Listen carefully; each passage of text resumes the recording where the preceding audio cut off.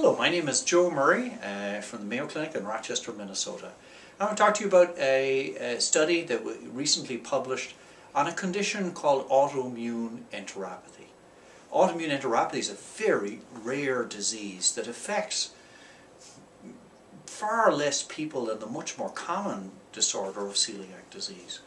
But it has symptoms of diarrhea, weight loss, and damage in the intestine and the damage can extend to the stomach and the colon. And in this condition, the body's immune system is attacking the lining of the gastrointestinal tract and can cause quite severe symptoms. And we compared this very rare condition to severe celiac disease, or what we call refractory celiac disease.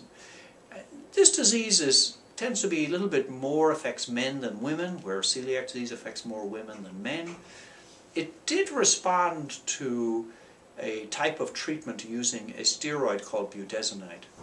This is a treatment that is widely used for another condition called Crohn's disease.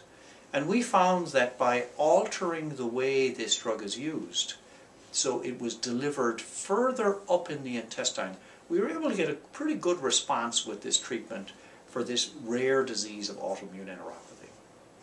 So what does that mean to most people out there, to most doctors?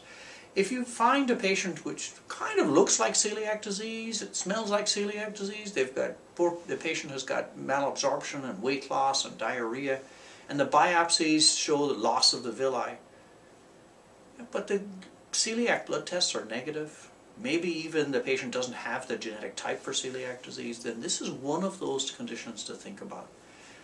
We also found that it's associated with other autoimmune conditions affecting other parts of the body, maybe another clue.